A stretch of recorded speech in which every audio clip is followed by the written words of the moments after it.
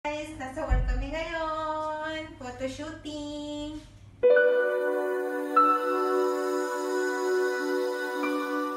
Oh, ito yung ano ng bride.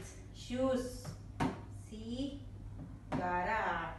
Mas ito naman yung ano yung buffet, ano ba yun? Flowers, sorry. Ayan, tapos ito yung mga cake nila. Oh, ganyan siya. Bongga, di ba? Oh. Tapos, dahil engagement, meron silang mga ano, may mga jewelries like this one. Meron silang ano, watch para sa lalaki. Ano naman para sa babae.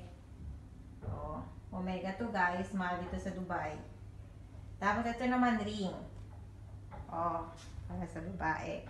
Tapos ito yung earrings niya. Ito yung necklace niya. Ayan. Ito lahat.